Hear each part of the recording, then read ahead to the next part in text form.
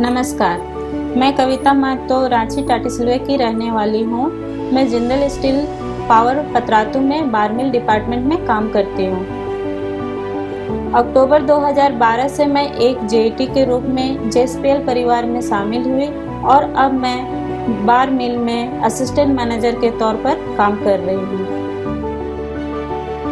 यहाँ पे काम करना मुझे बहुत अच्छा लगता है क्योंकि यहाँ पे जो काम हम करते हैं, उसके लिए हमें प्रोत्साहित किया जाता है और हम अपने वर्क लाइफ को भी बैलेंस कर पाते हैं।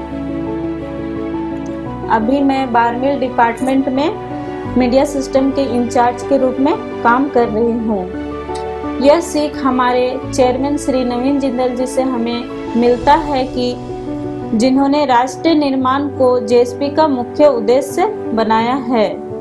मुझे बहुत खुशी होती है जब मैं जिंदल स्टील एवं पावर से बनाए स्टील से एक नए भारत का निर्माण होते हुए देखती हूँ।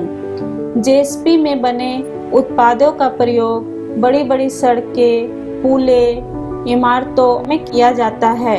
इसके अलावा लोग आज अपने घरों को बनाने के लिए भी जेएसपी के उत्पाद का प्रयोग कर रहे हैं।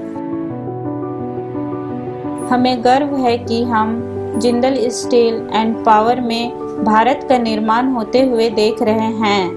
जय हिंद।